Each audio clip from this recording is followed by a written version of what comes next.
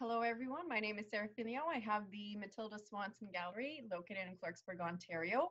Welcome to In Conversation with. Our guest today is the incomparable Peter John Reid. Welcome, Peter. Thank you.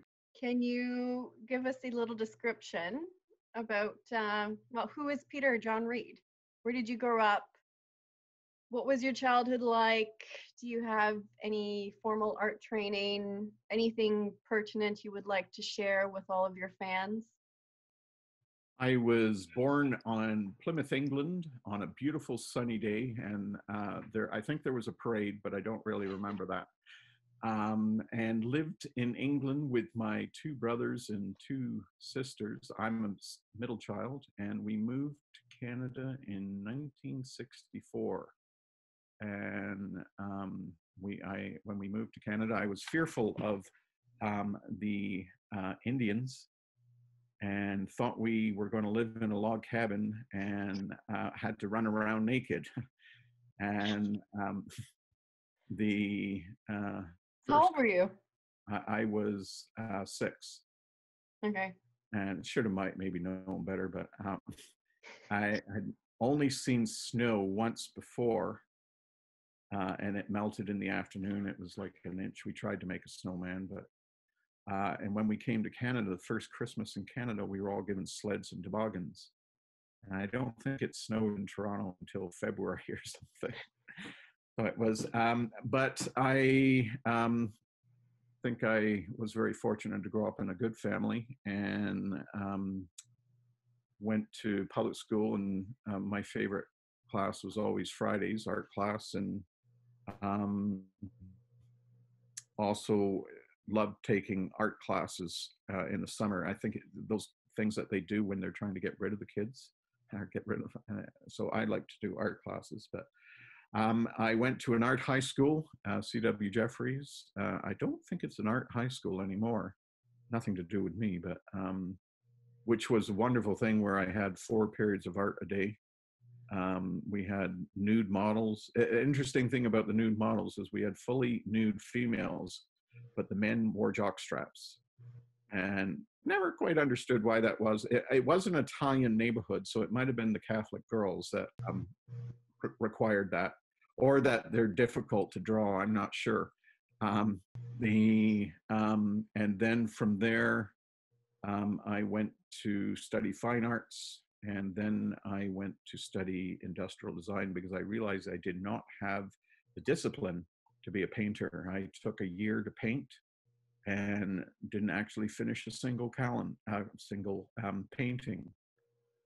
And so I went back into school for design and trained as an industrial designer, which I worked at for a good part of the year of my working year life and raised a family uh, two kids, um, and um, both are uh, interested in art, but not actively pursuing it.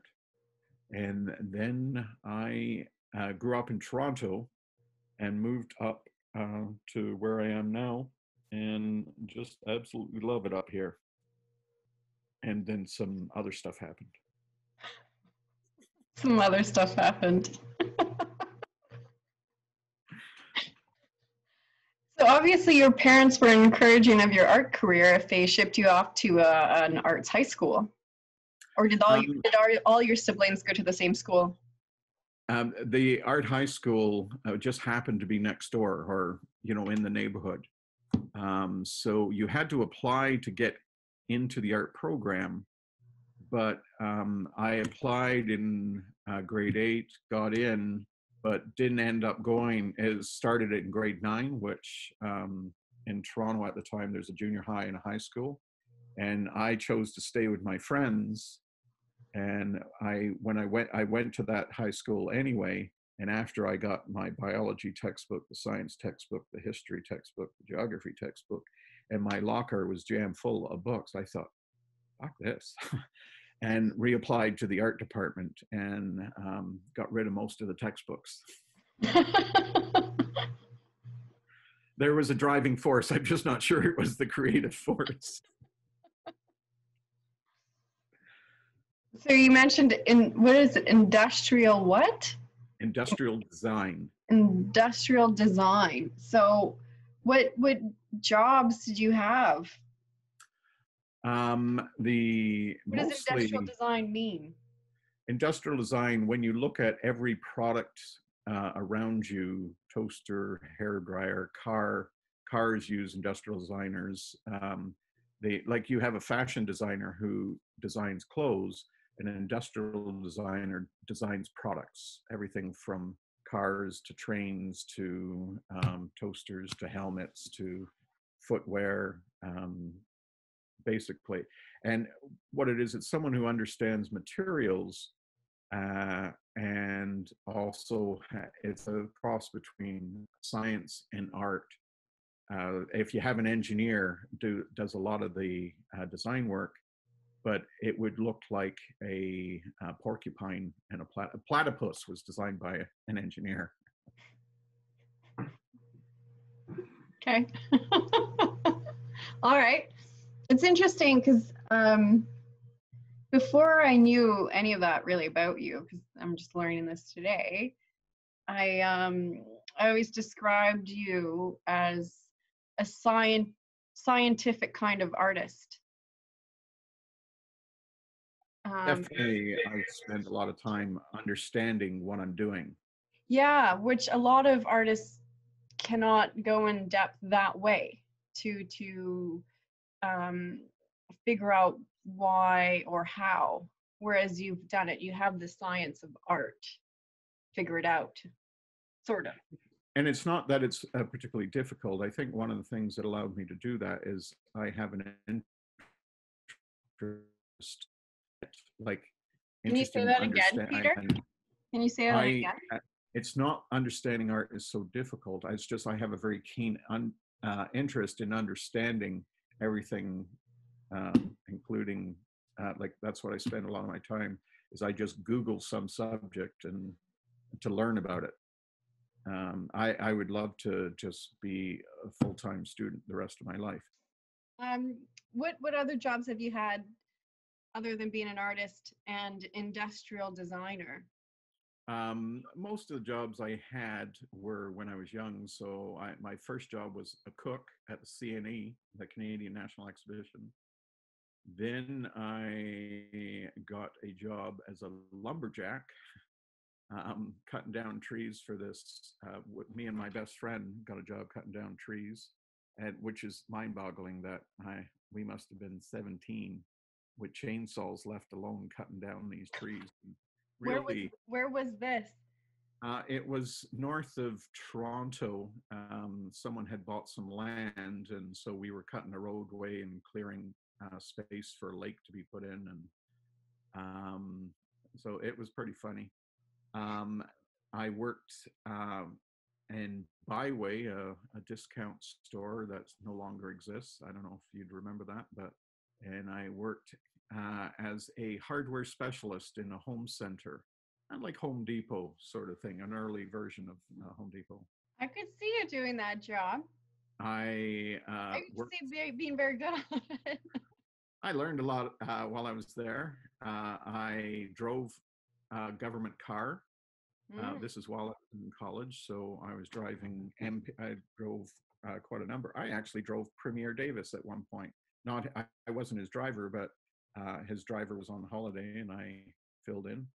Um, I um, what I worked as a Toronto cab driver uh, f- while I was in school. That that nearly cost me my Wow. um, uh, uh, college diploma because uh, I worked nights and went to school during the day, and I slept a lot during the day. um, then I worked as an industrial designer, designing transit vehicles, and worked. Um, started my own company at that point, and was doing industrial design and graphic design and basically uh, was hired by a company full time to do their graphic design. And um, I've always loved my jobs, but uh, it just the whole time I'm painting, and it eventually got to the point where I was reducing the hours I was working for the companies and painting more, and then it just I just want to do it full time.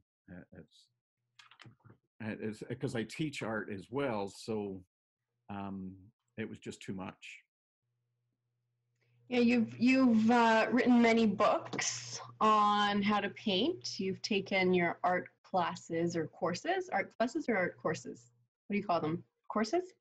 Courses, classes. Courses. You've taken right. You've taken them on the road. You have Studio 20, which you operate out of your own studio. You have a very dedicated following of would-be artists, and even some professional artists take your courses what was the impetus behind this other than the obvious um, need to become a, a revered art god? Well, I'm still working on that, but um, uh, maybe just a semi god right now. um, the it, it, started when uh, someone who I was working with uh, asked if I would teach them to paint, and I said, I, I don't know anything about teaching. Uh, it, it, doesn't matter if you know how to paint. You don't always know how to impart that knowledge. And so I said, well, why don't you out uh, to my house and we'll just paint together. And so at one point there were two or three people, and this was the start of um, the uh, Studio 20. And at the time it was called uh, the Dollaramus um, because um, eh, they bought all, all, the material was bought at the Dollarama, the um, dollar store canvases and whatnot. Um, and so it just got to the point where it wasn't practical to have too many people in the house. I didn't have the large studio I have now. And so one of the guys that was a part of the group uh, said the Timothy Christian School had studios on uh, available, and so rented them. Mostly, I rented it. I needed storage. I, I was all those paintings and whatnot, and we have a relatively small house, and you only so many walls, and so rented that space. And uh, now Studio Twenty, I think we we're in our maybe our twelfth year. I'm, I'm not exactly sure. I'd have to go back, but in that time, I was approached whether I would start teaching for other um, groups. And so I started teaching. Uh, I think the first one was at the Chesley High School and then all over the place. And I actually wrote the first book um, because um, I wanted, it, like, you need pictures to be able to explain something that you're teaching. You can't do it in words alone. And so the first book I wrote was be, I initially had just handouts that were getting expensive and a pain in the butt to produce. And so I um, created um, this first book, and now I have just about finished the fourth. Um, amazing. Yeah. It's amazing how that just spiraled, grew into something much larger, I guess, than you had anticipated. I, I my whole life has really just been uh, me not doing much of anything and just shit falling in my lap and think, yeah, I could do that. And um, it's I, I, I don't I, I wish I was someone who'd go out and get there because uh, get it and I, I'm sure I'd be a millionaire by now. Mind you, a millionaire isn't much anymore. Not no. Aren't you aren't you already a millionaire? I could be. I don't know. So you're the exception to the rule of those who can't do teach, right? I, I think there there's a lot of fine painters out there who are offering course, courses that can't teach worth a shit, and they're amazing painters. Um, and there are definitely a lot of people out there teaching who can't do. I'm not sure I'm prepared to say, uh, yeah. though my experience has been in college that um, you're right, they can't mm-hmm. they can't do, nor can they teach for that matter. I, there, there really aren't that many good teachers out there that um, that I like. I've taken classes some very good painters, but I have never taken a class with a very good teacher. Mm. Interesting. And, yeah. Uh, reading up on your background, everything about your life has been creative to even attending an arts high school, as you mentioned previously. Having visited your home, every detail in your home and your property, from the gardens to even the furniture, is deliberate and creative. Um, all of this work to is it to create um, all this work to create your artistic paradise is it to satisfy your yourself visually or is it to satisfy the the incessant urge to create? It is definitely the incessant urge to uh, create make. Uh, i mean i just love making stuff. My favorite gift is always tools or materials and um, like i've heard people say that people find a white canvas daunting to me it's just like wow what could this be? Same with a mm. piece of wood. Like, oh, like I mean, if I find some wood for free or something, like free is always great. Um, and you think, oh shit, what could I do with that? And uh, I don't know if you saw our posts lately, but uh, someone gave uh, Bonnie and myself some Paverpol uh, and really didn't know a lot about it and uh, had a lot of fun making. Uh, I think we made four projects, but I've had enough of that. It, it's um, very mucky.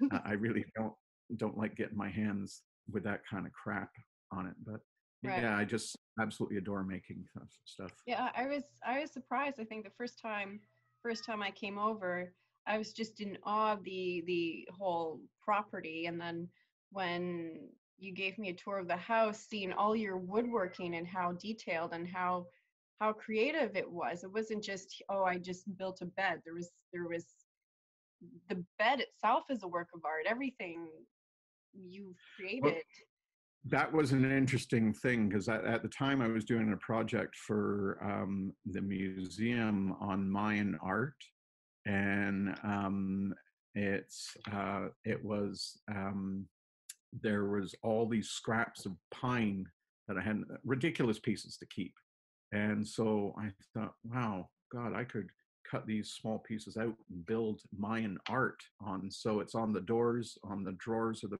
dresser, uh, on the closet doors, and on the bedstead. So that really was driven by these scraps of wood that um, free is just so amazing when you're working.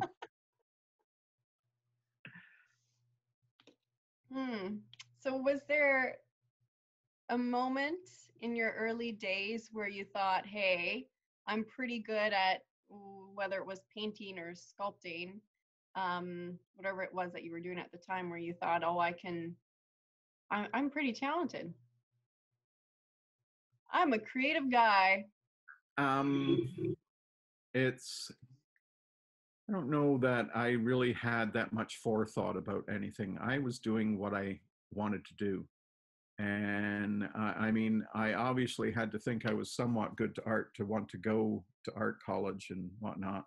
And that it just really has very much just one thing led to another. And even now, um, you know, I'm good, but uh, I just hope I live long enough to just keep getting better. It's just every year I think I'm that much better of a painter. It's one thing that I think that's amazing about being an artist is an athlete is going to reach their peak at 25 or you know and after that it's a slow decline. But an artist uh, it's as long as our mind is still living um, we can just keep getting better and better. I must admit i did go see the alex colville show and i don't know how long he lived but he was an older man and i did see a decline in his work um, and the lighter pieces and i think it's a combination.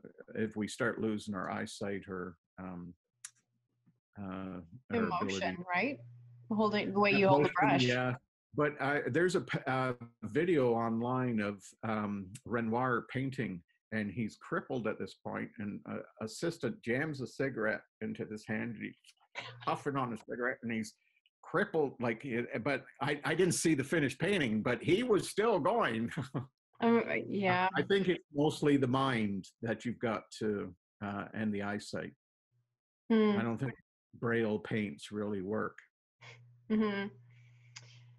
But do you start considering painting professionally versus it just being a hobby like your woodworking and your gardening? Well, it, it's um, had to be. Uh, it was getting to a point where you know there's only so many paintings your family wants, and um, your mother uh, has no more walls in her house, and um, I was actually thinking, well, I, I got to stop painting. Like I, I mean, I can't keep producing Mm. paintings, and um, it was Bonnie that said, well, we should um, take it to a gallery and uh, took it to the gallery and i had a sheet prepared of the paintings and still had some in the car and so i dropped and um, they they wanted to they said they'd try one and this is where um, the horseshoe that i had installed permanently up my ass um, that painting sold the next day Mm. and so um and it was a fl- the the right person came in at the right time and so then they took more paintings and i think uh, i'm pretty sure i became their second best seller uh, within uh, a year a year and a half. And so then uh, really i've been approached by most galleries not yeah i have approached galleries but with very little success. Um, and um, I was approached by one down in the states um, and was signing contracts, but that whole free trade bullshit between Mm. was really I didn't end up going through with it. It just um, didn't like the feel of that disconnect, and I've never visited the gallery. It was in Cincinnati or somewhere, and really didn't want to go to Cincinnati wasn't Mary Tyler Moore uh, from Cincinnati show?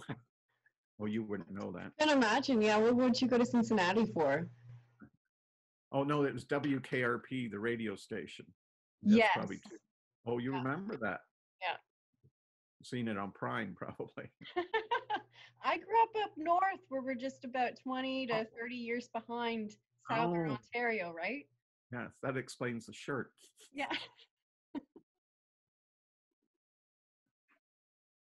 I thought, do I wear this or do I not wear this?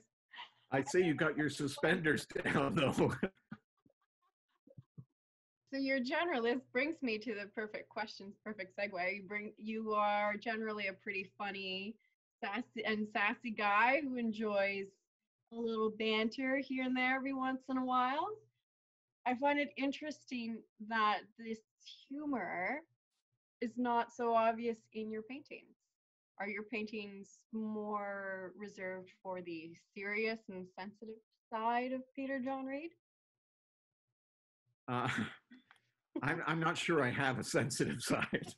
Uh, Bonnie would probably concur on that. Um, the um i've i guess it's a, a lot of artists think that they have to say something with their painting and um i to me i've always it's it's aesthetic. I it's the need to create uh and the aesthetic of it. And um the one thing about humor uh, not that i've ever tried to put it into a painting but watch an old comedy. It's not that funny. The even ones that you thought were hilarious at the time yeah. um, humor is very much a living breathing thing. And um, I, I I I have like I mean a cartoon is uh, you can capture that but so much of a cartoon you take it out of context and you're just scratching your head wondering what the hell that means like mhm. especially now there's just a flood of covid-19 uh, jokes Yeah. yep. Toilet paper, lots of toilet paper jokes. Yeah, there, there's uh, every morning I get an email with uh, something about um, that's humorous. Uh, uh, the one that Bonnie was listening to this morning, it had uh, this woman had a list of things not to do or what to do with COVID, and it was saying, "Don't go outside. You have to." And if you have to, make sure you maintain a social distance. But it's okay if you if you know the person, or and it was just all contradictory. It's saying one thing, uh, which is the information that we're getting, and it was really kind of humorous. Right. But Yeah. You Yeah, no, I think what what you do with your work, I, I is you capture the beauty that is that that we are living in, right? It's nature, and I just know how people respond to your work is that they just think it's just so beautifully it's a beautiful rendition of of our backyards of nature. Well that's an interesting thing there's a lot of things i'd like to paint but it's very hard to sell um, paintings that are not our backyard yeah. in our backyard like um, yeah. Southwest paintings of the canyon like I, would like to go to utah but um, i don't know what I'd do with the paintings uh, yeah. they certainly yeah even i have that one painting that you did of the yukon which is Cam- cameron falls i think it's called and it's a gorgeous painting and people love it and then it, because it says cameron falls on the back and they ask me oh where is it? And i tell them it's from the yukon. It's in northern ontario. Oh is it? Yeah. I thought it was yeah okay. Don't pull my leg peter. I'm sure i could find one that looks like it in northern ontario. Well, I think it does. Other people have said the same thing, and but it's once they know where it is, or Muskoka. Selling a Muskoka, typical Muskoka scene here is just it's very difficult. Mm-hmm. Um, even though they absolutely love the painting, um, they just don't want Muskoka here. They want Muskoka in Muskoka. Yeah, I would buy a painting based on um, if I liked it. Yeah, yeah, um, yeah. Same here. I know Bonnie's from uh, from this area, but I still bought the painting, but bought the girl. you can you can't have too much Bonnie though. No. No such thing as too much Bonnie. No, not possible. No. How has your artwork changed over the years? It's definitely a, a much greater skill uh, developed. Like, I mean, everything I do, I'm uh, learning to express better. It's, uh, I guess it's like an author. I don't know. Uh, you learn new words or you learn new ways of putting those words together to say uh, what you. And one of the things that when most people are starting to paint, they have a vision of what they want to do. Mm. And when they when they paint, doesn't look anything like the vision, not even mm. close. And I think that's one of the things as your skill develops, you get closer to your vision uh, of what it was that you imagined it would be. But it still surprises that you roll with, like you saying, wow, that's pretty cool. I think I'll, I'll take that, that direction. So by no means have I got a clear idea that it always ends up that way. It, you go with the flow because amazing things can happen. Mm-hmm. The light bulb goes on above the head. Mm-hmm. So how would you summarize your your style then?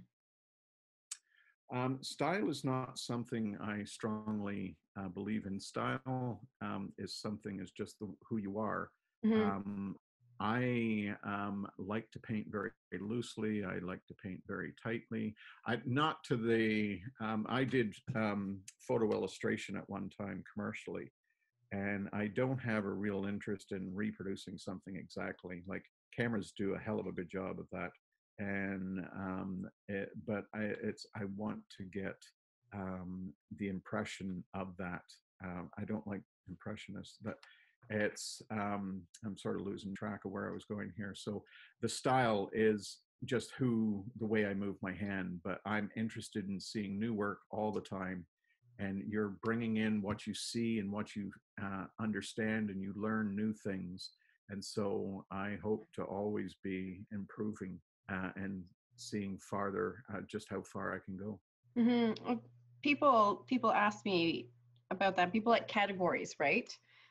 They yes. want to know is this impressionist? What is this, right? And I I just um, what I tend to tell people is you are an artist that I can uh, blend in realism so well with abstract and when you're looking when you have when you're further away from the painting there's there's so much realism to it and then the closer you get the more you see how large the strokes are and how abstract and and seemingly random it all is and very quick strokes right? And then so they're very different depending on how close you are to the painting whereas high realism you look at it it's the same however close or, or however far away it is. So yours tend to change depending on how close you are to the piece. And and you've managed to blend the two extremely well.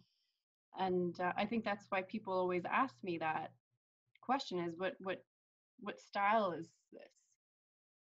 And I never have an answer for them. And then I go in and I say, you know, Peter's kind of a scientist kind of artist and and um labels are something they like giving labels. art for Mhm. years and um, it's uh, often a lot of those labels were like in the impressionists um, came from a painting that had the title impression of something Yeah. and the movement hated the name Mm, uh, and it's it's an overused name now yeah. and the cubists and like i mean it's um it one of the things that it's it's much easier to see the style in 20 years from now when you can look back at the body of all the uh, different artists and say oh they were painting this way um but to me it's just really a level of, of abstraction yeah abstract expressionist you can't tell what the hell it is Mhm. and then every degree up to that. So maybe we need a scale of one to 10.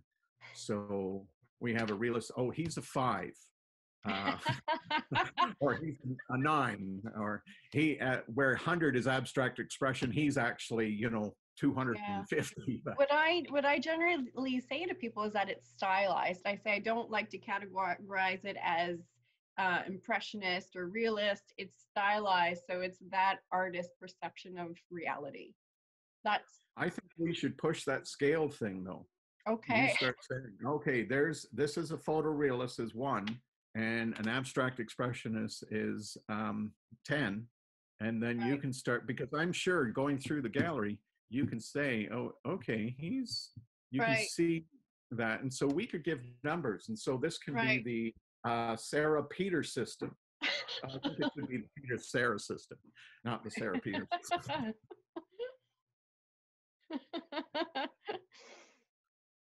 that that How- a floor uh the start saying well on the peter sarah system eh, eh, he's a five right, try- right. you And I'll do. I'll do my best to say it with a straight face and as serious as possible with as much conviction. According to the Sarah Peter model, he is a three on the scale. yeah and uh no you said that it's the peter sarah system The Peter Sarah. uh you have to put monet on that scale and you can put pollock pollock um Right, he- right. he's a 10 and Right. monet i would think is probably around a three to a four Yeah. and um, maybe a five.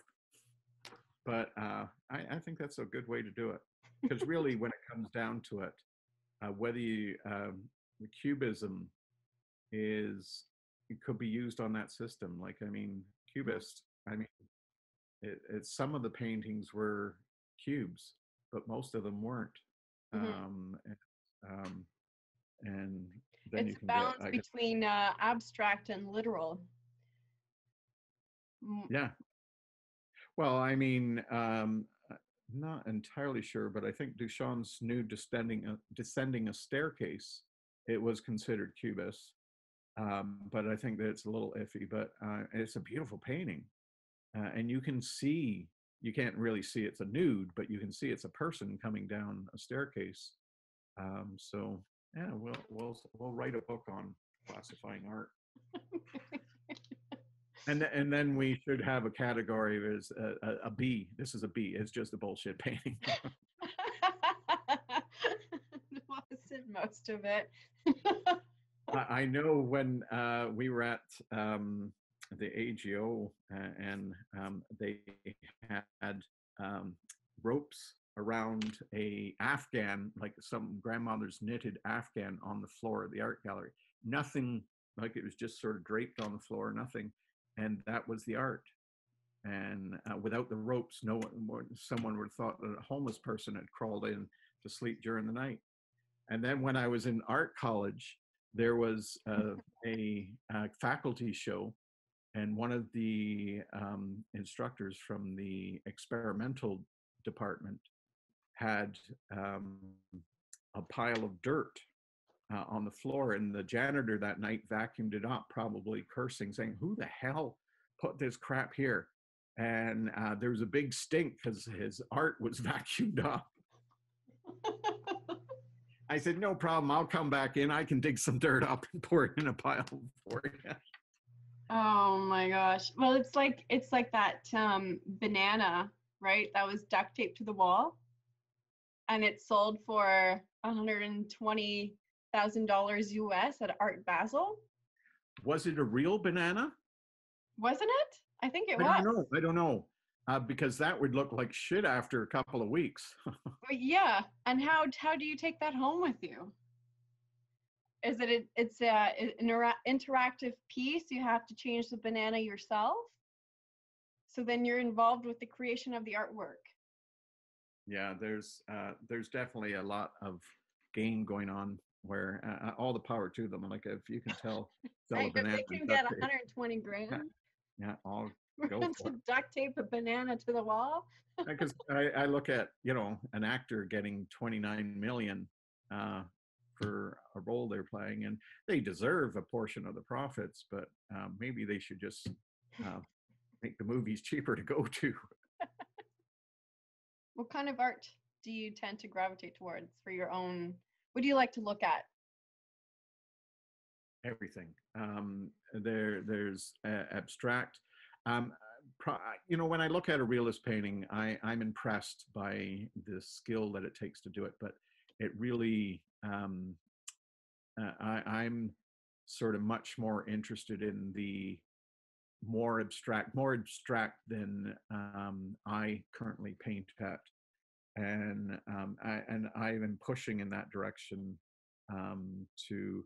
But one of the things that's difficult is when you know how to paint, it's harder to paint loosely and more abstractly um, because the ten like you do a stroke and you think, it's a beautiful stroke, but that doesn't look like it. And so, Mm, uh, and that's a big thing of what I'm working on now. And I'm trying to work on that through speed. Um, uh, and speed just doesn't mean reckless. It just means uh, doing the stroke fast. So the stroke has energy. Uh, and, and then, sorry, I get so emotional. Um, and then, um, You want to grab a tissue, Peter? Yes.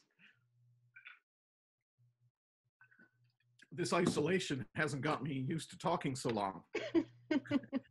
um, so that the the paint, painting carries that energy that it was created in, and I think that like I- I'm not a huge fan of Jackson Pollock's work generally, but I, I do like some abstract expressionists quite a lot.